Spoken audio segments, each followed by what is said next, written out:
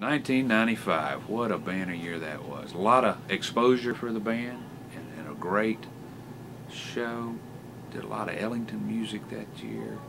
C-Jam Blues was on the end of the show. It's the third time that we had won the national championship with the football team, so there were a lot of eyes and cameras on UNA, and what a great year to have such a strong band. Yeah, I, I, I remember that year very vividly, and but you know, uh, while the band did great, you know what I remember so much was that last uh, UNA national championship and how cold it was. Oh God, I'm still cold. I tell you, I had on uh, two pairs of long handles, three pairs of socks, two pairs of gloves, everything else I could get on, and froze to death. Although I remember telling the band before the game, and it really wasn't that cold. You know? Yeah.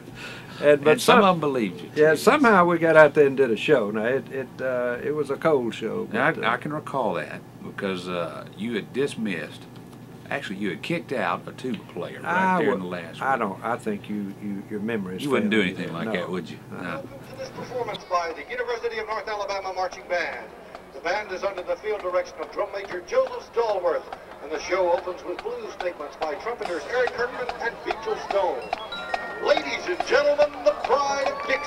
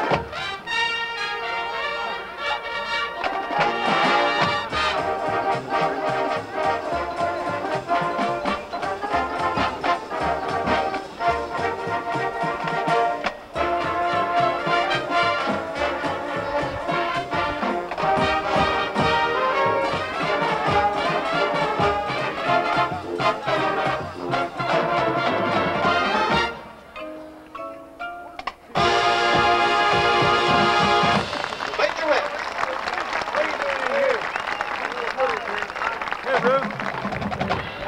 and gentlemen, please welcome our featured tourists, Gina Barrett and Jennifer Nescar.